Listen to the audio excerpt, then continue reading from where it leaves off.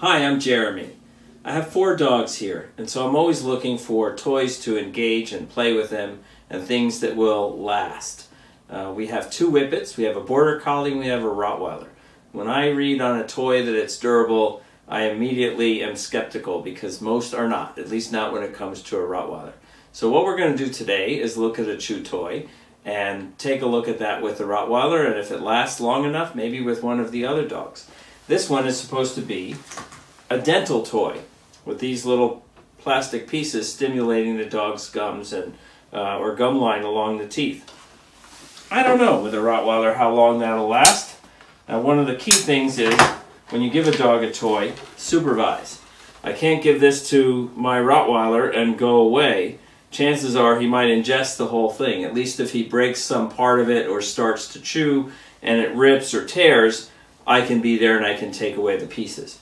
Oddly, it has a very big similarity to dryer balls. Now I took a look at these dryer balls. You know, dog toys are can be quite expensive. So I happened to see these in the same aisle on the other side at a store I was in the other day. So I thought, you know what? Let me bring these dryer balls home too and just check, make sure there's no fragrance or harmful chemical or anything like that inside. And you know, if they're good, you get four of these for roughly the price of one of these on sale. So maybe there's a new dog toy in the neighborhood. We'll take them outside with our Rottweiler Olsen and see what happens. Sit. Look. No.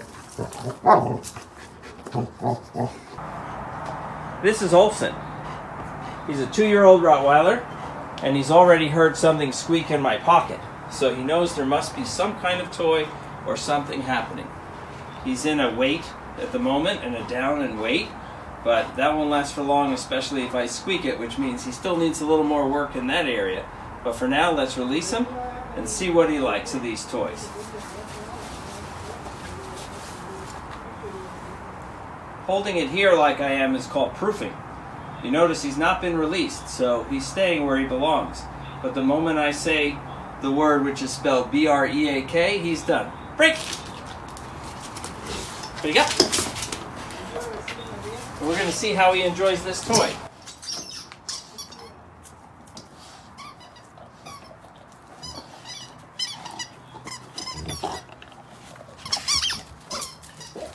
Now this dog has never seen this before. He's very good natured and very playful. He loves his toys.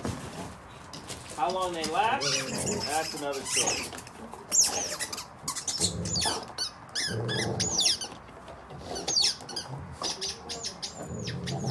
If those nodules are doing any dental stimulation, he's already got the idea of chewing it.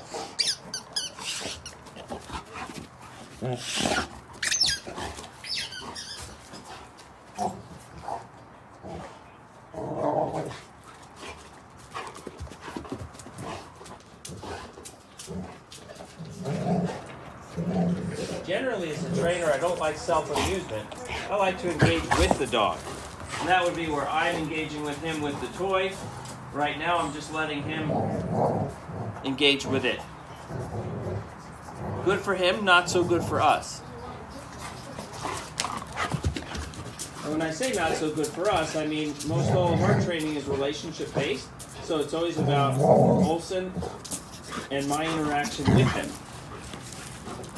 We build trust. We build engagement. We have a lot of fun. Olsen, bring. Bad dog training. Olsen.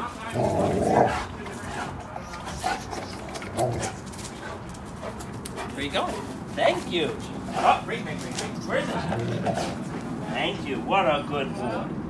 So engagement can be as simply as me letting him fetch it throwing it, tugging with him, things like that. I really don't know how strong this is. So I'm not going to tug just yet, and he is really primed for this. So I'm going to let him go get it. See the drool? Go get it.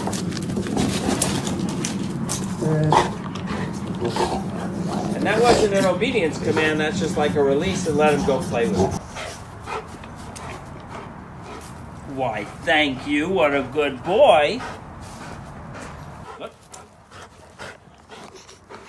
Wait. Hold. Hey. Olsen, up. We've been playing for a few minutes. Olsen's still engaged with this toy.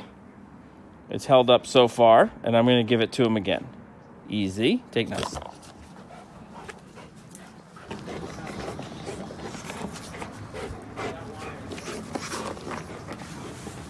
Good boy. Wait. Wait. Ah! No. No. Yes, take hold. Bad dog. Bad dog training. Down. Olsen. Oh, oh, oh. Down.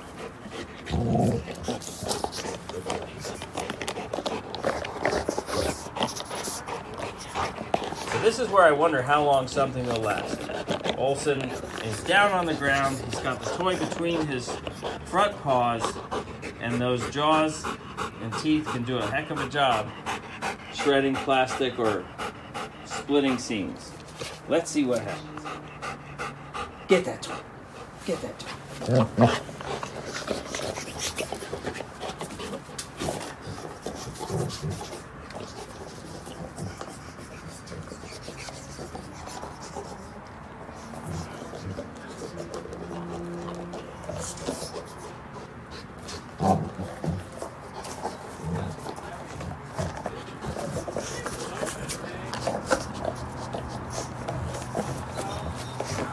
this is a good time to practice one of our commands. Olsen.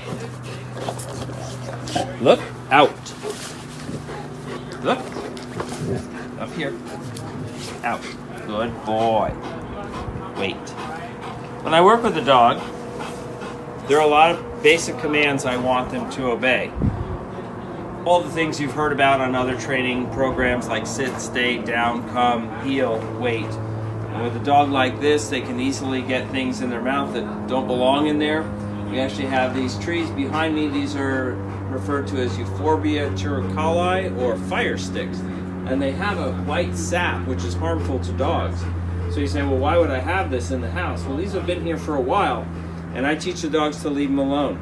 If they do pick up a branch, a stick, or even a, a piece that's broken off, they know the out command. And so when I say out, they should release what's in their mouth. Olsen had this toy. You can see he's he's like a coiled spring at the moment. He really wants it. But when I said out, he just dropped it. I would have preferred that he waited for me. I usually teach them to hold what they have and then they release it to my hand, but that was just fine. So now he's earned that engagement with me. He released it to me and I'll tell him he can go get it, and he can go play with it, have fun.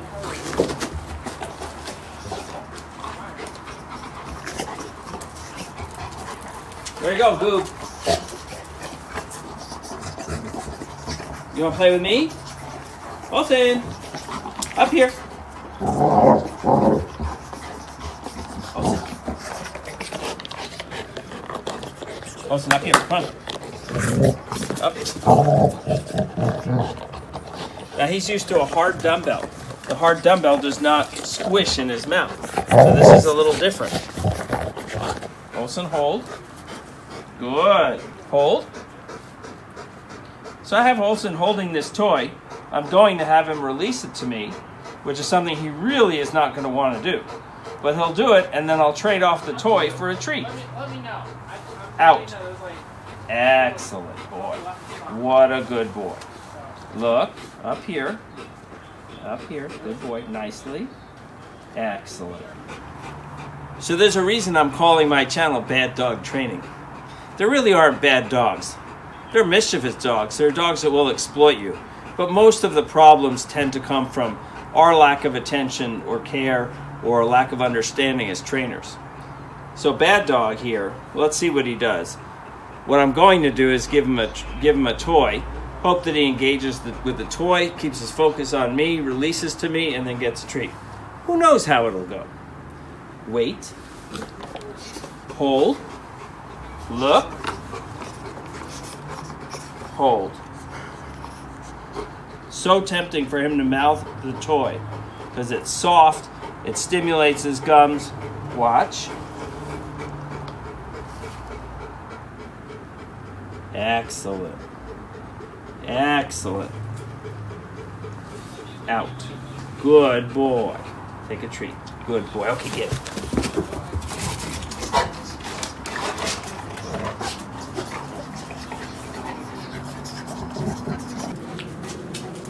We've gone a few minutes now with Olsen having fun with his toy. Toys usually don't last long in my world with the Rottweilers, but he's having some fun, and you have to gauge what's right for you. This is approximately a $6 toy, and we've had five minutes. It may not seem like much, but with a Rottweiler, five minutes on a $6 toy, six minutes on a $6 toy, I'm starting to consider that we may be ahead of the game. Olsen! Olsen, Olsen! And there's my bad dog.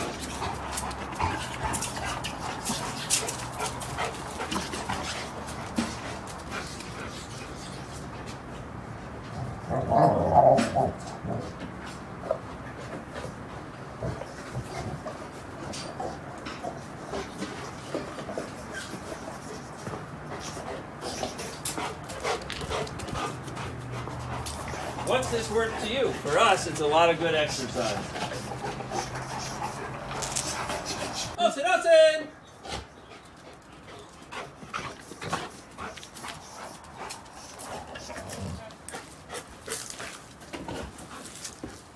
Where'd it go? Bring, bring. Up here. Good boy. Thank you. Sit. What a good sit. Do you want to get the toy? Do you want to get the toy? I'm engaging the dog now. Oh, look, I got your focus up here. You want to go get that toy? I'm going to throw it for you. You're going to get that toy. Oh, where'd the squeaker go? Where's the squeaker? Get it.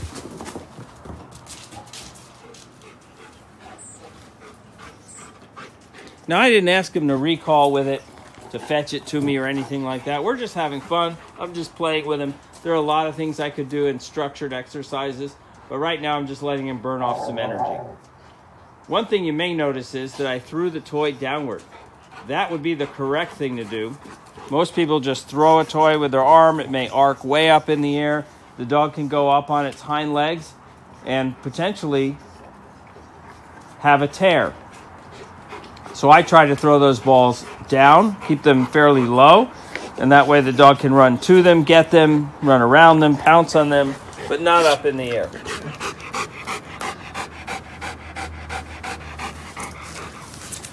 Can you say ACL? We're not going to have an ACL tear, right? Why are we not going to have that? Because we're going to throw it low. Down. Good boy, all the way. Good boy. Wait.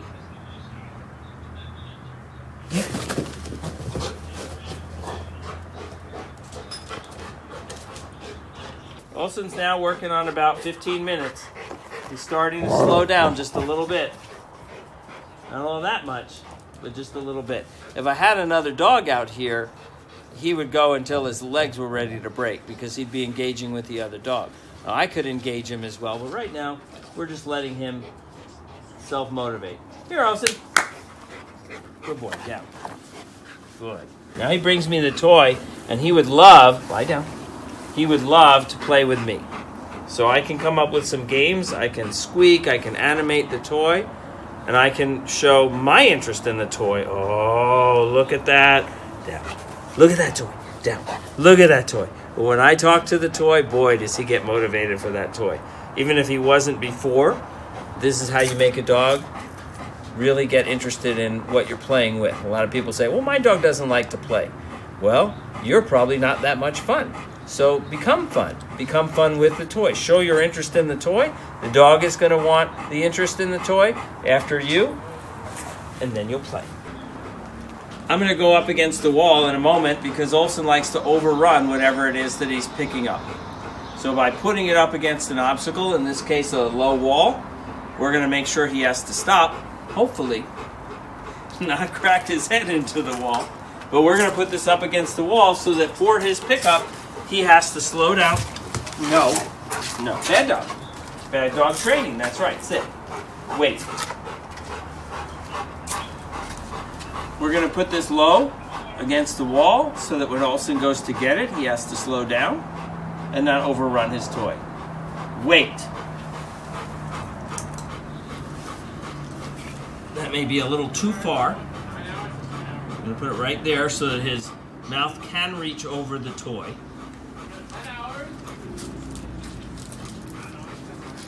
Now his release command is the word that's spelled B-R-E-A-K. He hasn't learned to spell it yet, but when I say it, he knows. Break! And he's off.